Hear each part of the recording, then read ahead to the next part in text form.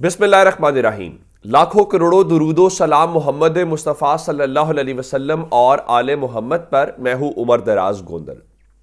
जब आप समझौता करके हुकूमत आते हैं ना तो फिर आपकी जबान बंद हो जाती है। फिर आप बोल नहीं सकते। फिर आप वो एक इशारे के पाबंद होते हैं। वो जिस तरह सर्कस के अंदर नहीं होता। कि आपको जो कहा जाएगा, आप वही करतब दिखाएँगे। और उसका हमें पहले 24 घंटे के अंदर ही पहला नतीजा दिखाई दिया। शहबाज शरीफ ने कल दिन तकरीबन तीन बजे वज़ीर आज़म के अहदे का हल्फ उठाया और सदर ने हल्फ लिया। अब उनके लिए इससे ज़्यादा खुशी की आज बात क्या होगी कि उनको नरेंद्र मोदी ने भारत से बाकायदा ट्वीट करके वज़ीर आज़म का अहदा संभालने के ऊपर मुबारकबाद दे दी है। वो तो इसके ऊपर ही खुशी से बहुत दो चार होंगे। ये अलग बात है कि इंटरनेशनल मीडिया उनके बारे में क्या लिख रहा है। अल जजीरा ने लिखा है कि शहबाज शरीफ मुतनाज़ा इलेक्शन में आज़ाद उम्मीदवारों के बाद, दूसरे नंबर पर आने के बाद वज़ीर आज़म बन गए हैं। अब इसका मतलब यह है कि दुनिया में यह उसूल नहीं होता कि दूसरे नंबर पर आने वाला वज़ीर आज़म बने। दुनिया में होता यह है कि पहले नंबर वाला वज़ीर अजम बनता है, लेकिन इंटरनेशनल मीडिया इनको मीठी मीठी इनकी वो कर रहा है, लेकिन उनको समझ नहीं आ रही। अब आप जानते हैं कि कल शहबाज शरीफ ने फौरी तौर पर उनका देखे जी, शहबाज शरीफ हो गए एक्टिव और एक्टिव होने के बाद उन्होंने मीशत को संभालना शुरू कर दिया और आज वो गवादर जाएँगे, लेकिन इस दौरान वो जो समझौता करके आने वाली हुकूमत है समझौता क्यों किया है? समझौता इसलिए किया है कि जब आपको लोगों ने मैंडेट नहीं दिया तो फिर आप क्या करेंगे?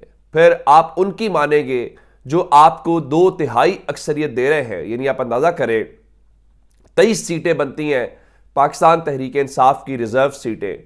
वो तेईस सीटें इनको मिलेंगी और इस तरह से इनका नंबर जो है वो पूरा हो जाएगा रिज़र्व सीटों का और ज़रा एक लतीफ़ा सुनिए, फिर मैं अगली खबर आपको कुर्बानी वाली देता हूँ। खैबर पख्तूनख्वा असम्बली के अंदर जो है जो अपोजिशन की जमातें हैं यदि उसमें सुन्नी इतिहाद काउंसिल को निकाल दिया जाए, उसमें बाकी तमाम जमातें, जिसमें नून लीग शामिल है, जिसमें जे यू आई शामिल है। आपको पता है उन्होंने कितनी सीटें जनरल सीटें जीती हैं? उन्होंने जनरल सीटें सत्रह जीती हैं कौमी खैबर पख्तूनख्वा की असम्बली में। यानी अवाम ने पूरे सूबे में उनको सत्रह सीटें दी हैं। अच्छा वो भी कैसे आई आपको पता है?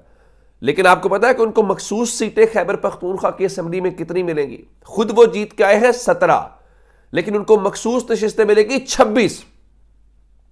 यानी उतनी सीटें वो खुद नहीं जीते जितनी उनको इलेक्शन कमीशन और काजी फायज ईसा साहब की तरफ़ से तोहफे में मिल गई है। अब जरा देखिए, सत्रह हो गई वो, छब्बीस हो गई वो तो तकरीबन तैंतालीस सीटें बन जाती हैं। यानी जो सत्रह पे थे, उनको काजी फायज ईसा साहब और इलेक्शन कमीशन के फैसले ने उनसे दो गुना उनकी अक्सरियत बढ़ा दी है। यह है कमाल। यह है लतीफे। यानी जो जे यू आई है, वो सीटें जीती है सात। मखसूस सीटें मिलेंगी दस। माजिद निजामी साहब ने यह रिसर्च की है। छह नशिस्तें नू लीग ने जीती हैं, उनको सीटें मिलेगी नौ। और इस तरह से पीपल्स पार्टी ने जीती हैं चार, उनको मखसूस नशीतें मिलेगी छह। यानी उतनी उन्होंने सीटें जीती नहीं है जितनी उनको मखसूस सीटें मिल रही हैं। अब आते हैं उस तरफ़ कुर्बानी वाली बात की तरफ़, और वो तैयार नहीं है। इवन अब तो इमरान खान के नाकद जिस तरह जावेद चौधरी हैं, वो कह रहे हैं, इमरान खान ने आठ फरवरी के इंतबात में साबित कर दिया कि अवाम उसके साथ है, लोग उसे वज़ीर आज़म और तहरीक इंसाफ को इकतदार में देखना चाहते हैं। हम जितनी जल्दी ये हकीकत मान लेंगे, मुल्क के लिए उतना ही अच्छा होगा। ये मसनू निज़ाम डिलीवर नहीं कर सकेगा। लेकिन शायद उनको ये लगता है कि वो चीज़ों को संभाल लेंगे, चूँकि अब तो देखें ना, उनको नरेंद्र मोदी ने मुबारकबाद दे दी है तो इससे बड़ी कोई खुशी की खबर उनके लिए भला हो सकती है। ईरान के जो सदर हैं, उनकी जानब से भी मुबारकबाद का मैसेज आ गया है। और अब जो शहबाज शरीफ हैं, वो तो कहेंगे, वाह वाह वाह, क्या ही बात है, मेरे लिए तो सत्य खैर है। लेकिन जो मैं आपको खबर देना चाहता हूँ कि अब ज़रा नवाज़ शरीफ और शहबाज शरीफ बोल के दिखाएँ। कल इन्होंने पहला जो इजलास किया, वो जी शहबाज शरीफ ने फौरी तौर पर जो मुआशी सूरत हाल है, उसके ऊपर इजलास बुला लिया है और अपनी टीम को ग्रीन सिग्नल दे दिया है कि आप आईएमएफ के साथ मुजाकरात करें लेकिन जो पहला कुर्बानी का बकरा बना है, मैं आपको बताना चाहता हूँ।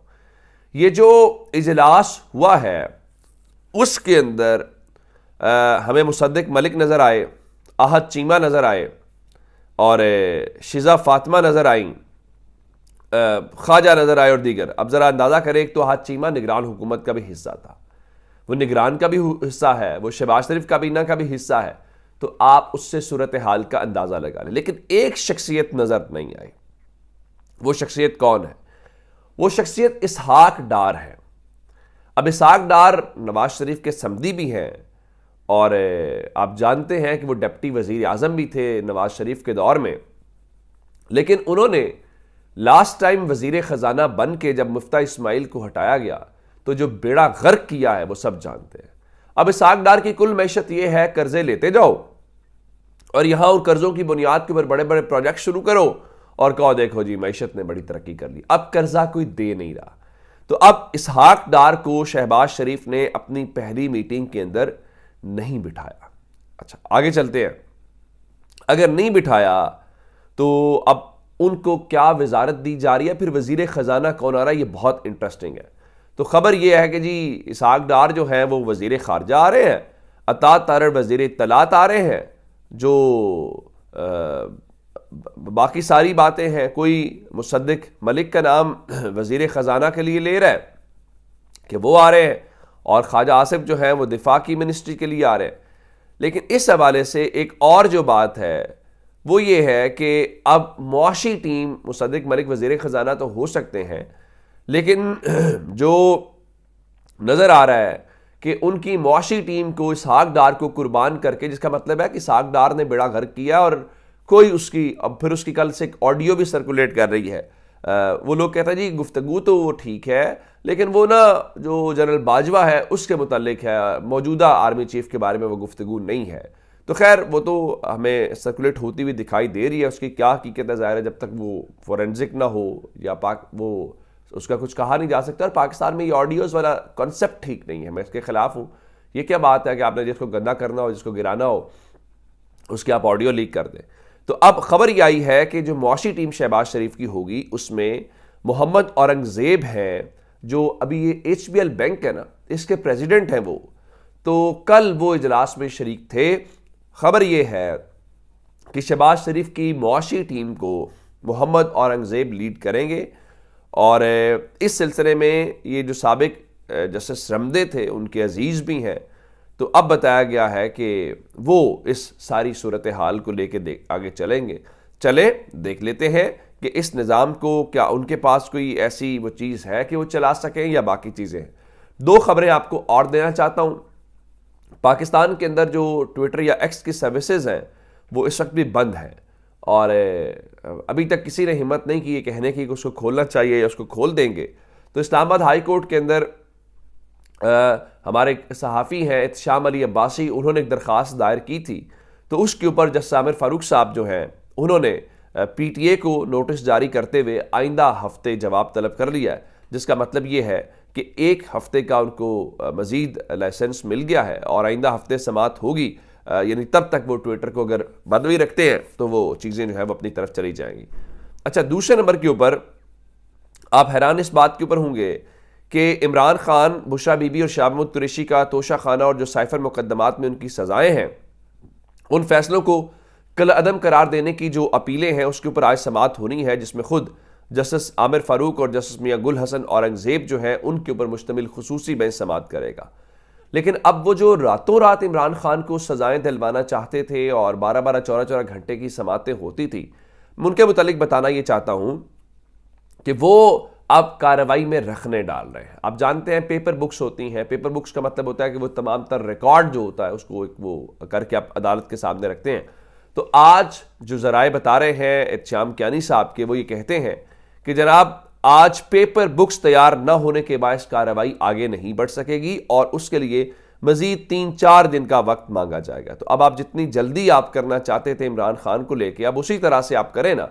अब आपको क्या मसला है? इमरान खान को सजाएँ भी तो आपने बहुत जल्दी सुनाई हैं।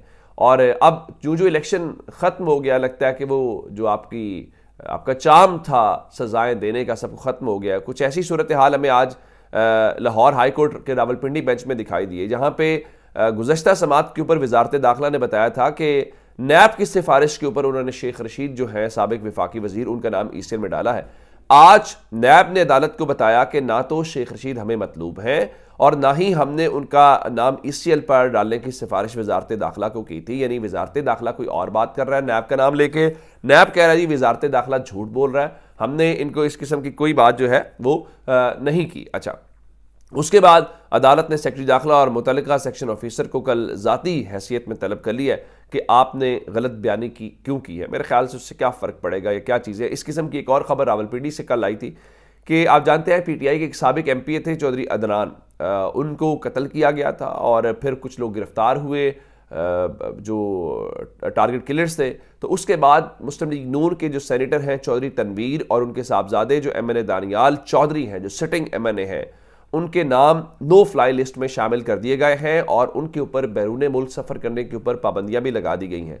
अब सवाल ये पैदा होता है कि ये तो अपने आप को इलेक्टेड लोग कहते हैं तो इनके नामों का उनसे क्या ताल्लुक है? तहरीक इंसाफ के सबक एम के कत्ल में और इनका नाम उसमें क्यों है?